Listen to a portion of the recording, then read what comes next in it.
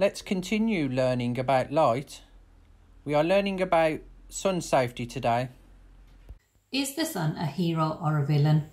Here are a list of things about the sun. I want you to sort them out into a hero list and a villain list. The sun provides warmth.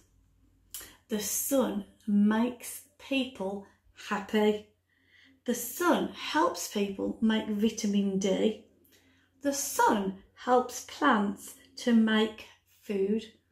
The sun is a source of light. The sun causes sunburn. The sun causes wrinkles. The sun damages our eyes. The sun causes skin cancer. Now I want you to share your list on Class Dojo. When you have done that, I would like you to make a poster about when you are out in the sun. Remember to protect all your body.